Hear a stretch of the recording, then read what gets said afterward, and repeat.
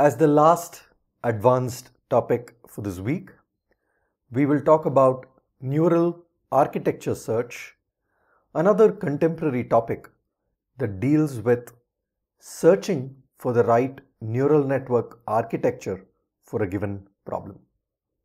It's, it should straight away appeal to you that this is a very important problem considering the various hyperparameters that one has in designing neural networks. To get a better understanding of why we need this, we have seen over the duration of this course that accuracy and performance has improved with better design of architectures. And this often requires human experts to spend hundreds of hours on arbitrary training and testing and hyperparameter tuning. This in fact doesn't even mean that the entire space of possible architectures has been searched exhaustively to find the right architecture.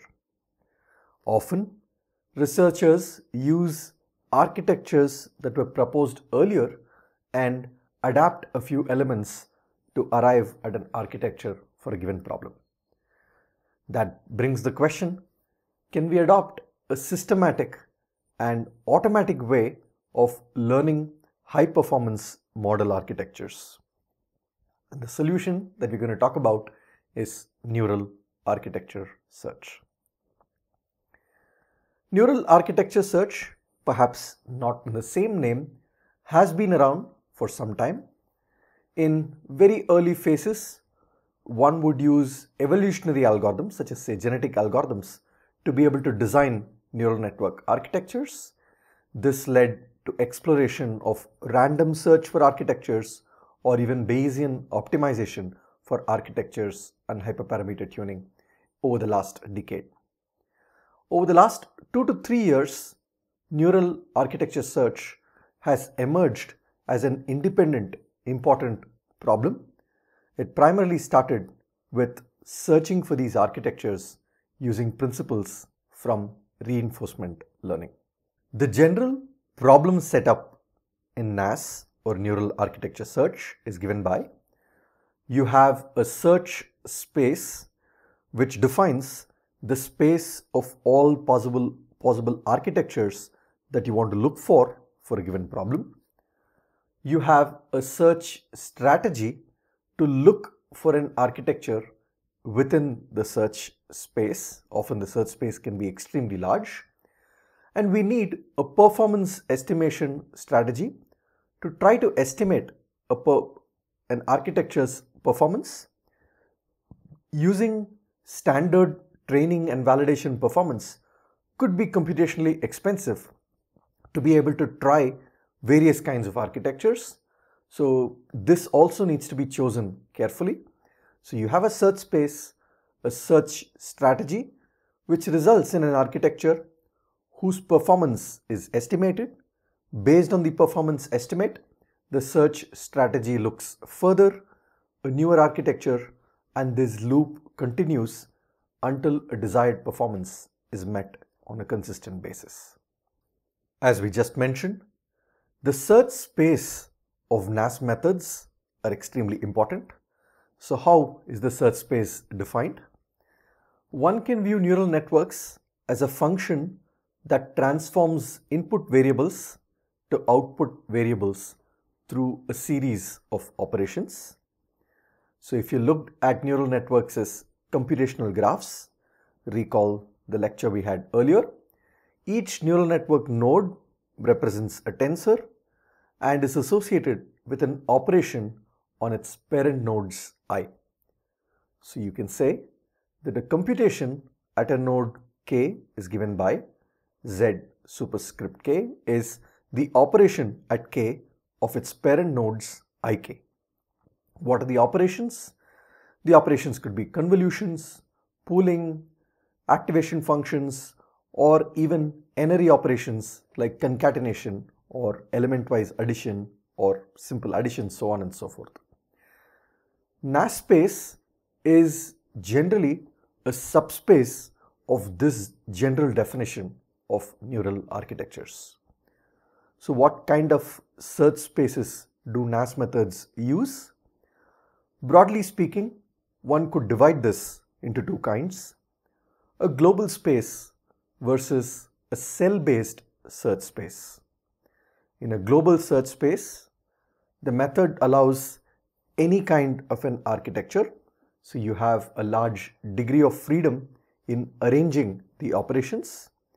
You have a set of allowed operations such as convolutions, pooling, dense layers, global average pooling with different hyperparameter settings like number of filters, filter width, filter height, so on and so forth. But there are also a few constraints that are specified.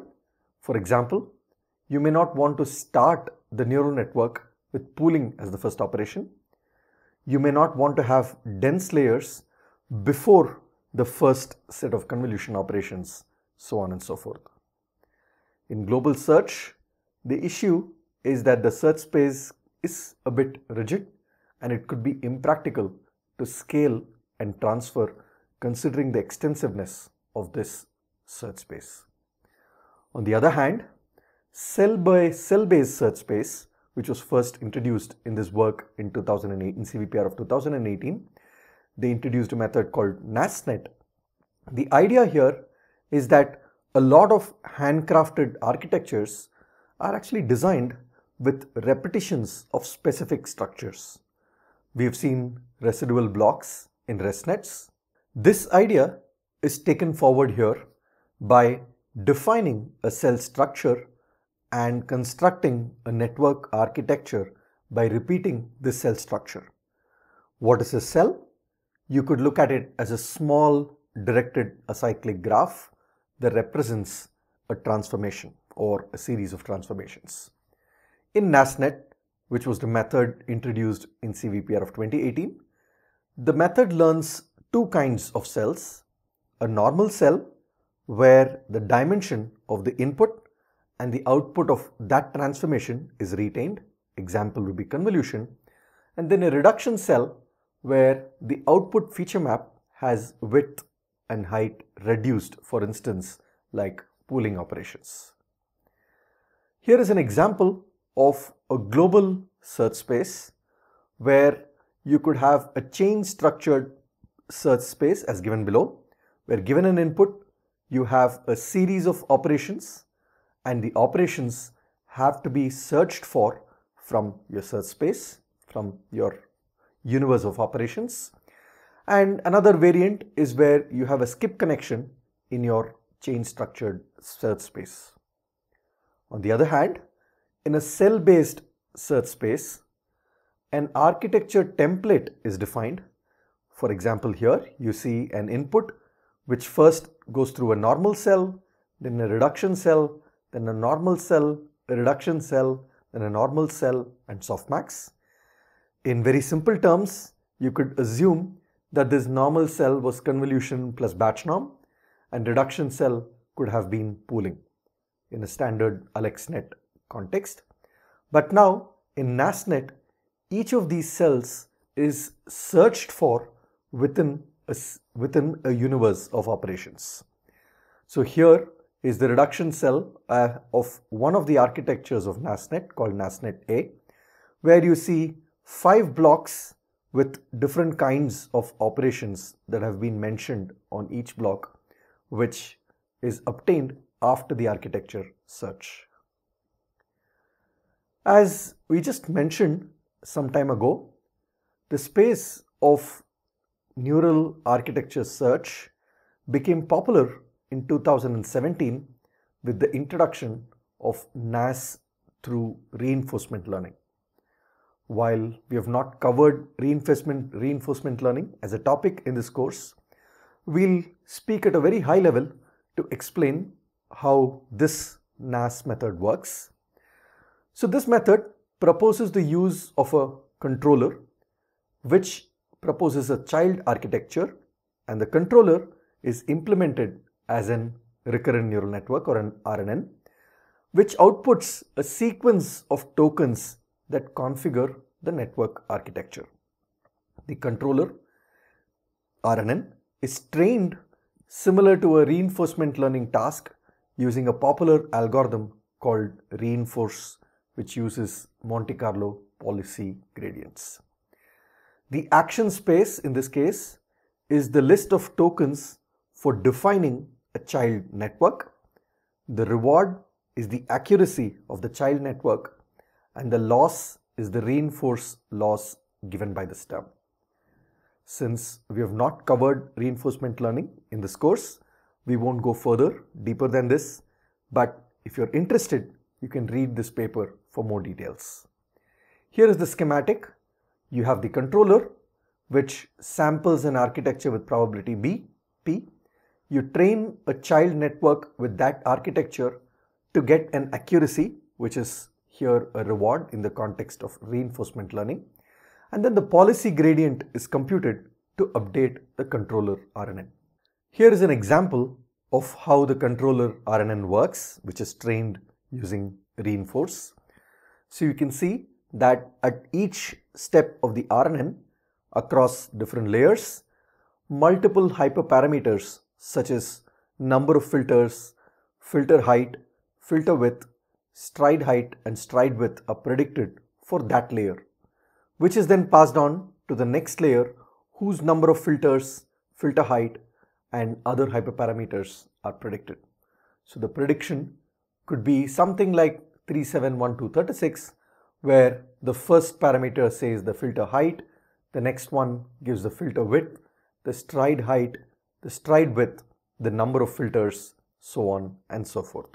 One of the limitations of naive NAS methods is that when you view your entire search space as a graph with each path as a certain sequence of operations, which could be an architecture, each of these paths are looked at and trained independently to be able to find which architecture suits a particular task. So given the overall search space, the path 1, 2, 3, which could be say a convolution followed by a pooling, and a path 1 to 4, which could be convolution followed by a batch norm, for instance. Each of these are trained independently and their performances are assessed to see which of those operations or sequence of operations suits for a given task. A recent method called efficient NAS proposed in ICML of 2018 asks the question, can we treat all model trajectories as subgraphs of a single directed acyclic graph? And the answer is yes. And efficient NAS shows a way to do this by sharing param parameters across the child models. So in this case, if what you see here is a supergraph of all possible sequences of operations. Each architecture becomes a subgraph or a trajectory in this graph. So you could look at these red arrows here as one sequence of operations corresponding to one architecture. And that sequence of operations is decided by an RNN controller which is trained using reinforcement learning. How is this trained? The weights of the controller and that the weights corresponding to the chosen paths are trained in an alternate manner and this leads to the final training. And they show that this approach gives about 2.89% test error on the CIFAR 10 dataset which is close to state of the art and took less than 16 hours to search for a right architecture, which is significantly lesser than other NAS-based models, especially NAS-based models based on reinforcement learning can take many days to search for the right architecture. One other observation to point out here is a lot of the state-of-the-art models today in classification, in detection, are all based on architectures obtained through neural architecture search. A more recent development called DARTS or differentiable architecture search was proposed in ICLR of 2019 and the key idea here was to define the search space using a set of binary variables on the operations. So your output of a layer zk is now an operation O multiplied by a binary variable into in terms of the input variables zi from the previous layer. The key insight in this approach is that until this method, in all methods, you could either have an operation or not have an operation. But this method says, why don't we relax this and make alpha something that's learnable and hence it relaxes this categorical choice of choosing an operation as a softmax over all possible operations. So the operation is not just binary in terms of its existence, it's now a softmax that you have over the space of all possible operations. This allows us to backpropagate through the choice of the operation itself. What does this mean? How do you train? So in DARTS, uh, an alternating bi-level optimization method is proposed similar to efficient NAS where in the first iteration the model parameters W of a specific architecture is trained by minimizing loss on a training set. And in the second step the structural parameters alpha which weight each of your operations are learned using by minimizing another loss on a validation set which is defined this way where W star, star alpha is the minimum loss of W on the train set. So you use those weights to be able to get a validation loss which is then used to minimize the value of alpha. So the final architecture is chosen based on the sequence of operations that maximizes alpha or the operation at that step that gives you the maximum alpha. This is an elegant solution that makes all parameters differentiable and entire and thus the entire architecture search as a differentiable procedure. Other considerations that have been looked at in the NAS community is architecture transferability. If we learn an architecture through a NAS method on CIFAR 10, how well does it transfer to ImageNet? And research has shown that a lot of uh, contemporary NAS methods deliver fairly well on this count where an architecture trained on CIFAR 10 also does well reasonably on ImageNet as well as on other datasets and tasks. While this discussion on NAS was intended, intended to be brief, keeping in view the scope of this course. Let's discuss a few future directions and open problems in NAS. One of the first issues is search efficiency. As I just mentioned, trying to perform NAS using reinforcement learning can create a training overhead of many days on standard GPU architecture. How do you improve the search becomes an important problem. A different perspective is to also move towards less constrained search spaces. One way you could improve your search efficiency is to constrain your search space more. But now we also don't want to constrain the search space more to be able to explore better architectures designing efficient architectures such as those we get after pruning or after quantization or probably finding the lottery ticket using NAS could also be an interesting direction of this space. Another important direction is a joint optimization of all components of a deep learning pipeline, not just the architecture. We could also talk about what data augmentation to use, what activation functions to use, what optimizers to use, and so on and so forth. So including all of that in the NAS search pipeline would be an interesting future task in this space. Finally, designing architectures for multimodal tasks such as vision language tasks could also be a very important and useful direction. Before we conclude this lecture, there is also an interesting observation by a few researchers about the curious case of random search. In this work, in AAAI 2019, researchers observed that when one randomly searched for a neural network architecture, the difference in accuracy was not too much between using random search, reinforcement learning, or evolutionary algorithms.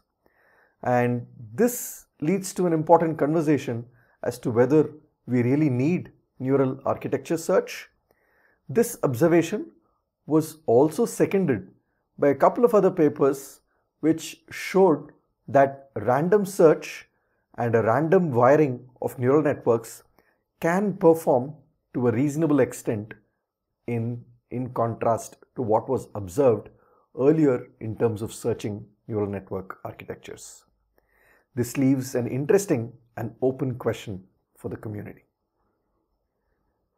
The recommended readings for this lecture are once again a very nice blog article by Lilian Weng on neural architecture search and these two survey papers on neural architecture search if you need more information.